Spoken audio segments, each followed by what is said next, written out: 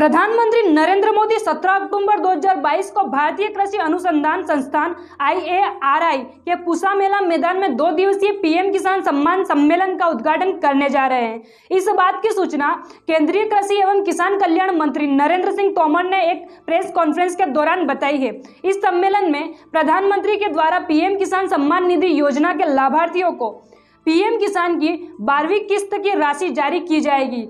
यह राशि लगभग सोलह हज़ार करोड़ रुपए की होगी, जो डायरेक्ट बेनिफिट ट्रांसफ़र के माध्यम से किसान के खाते में हस्तांतरित की जाएगी।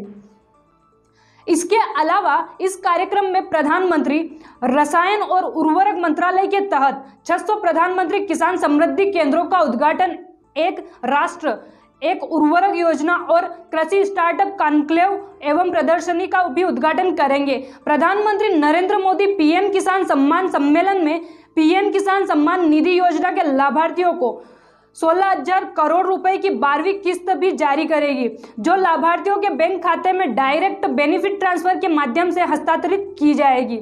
आपको बता दें कि प्रधानमंत्री नरेंद्र मोदी के द्वारा किसान सम्मान निधि योजना के तहत देश के लघु एवं सीमांत किसानों को हर साल छह हज़ार की आर्थिक सहायता दी जाती है। यह आर्थिक सहायता उन्हें साल में दो दो हज़ार रुपए की तीन सम्मान किस्तों में उपलब्ध करवाई जाती हैं।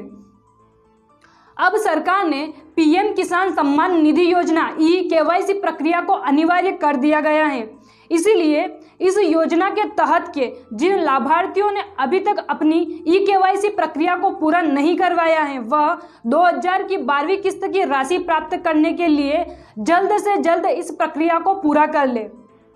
अधिक जानकारी के लिए देखते रहिए हमारे साथ MP7 News.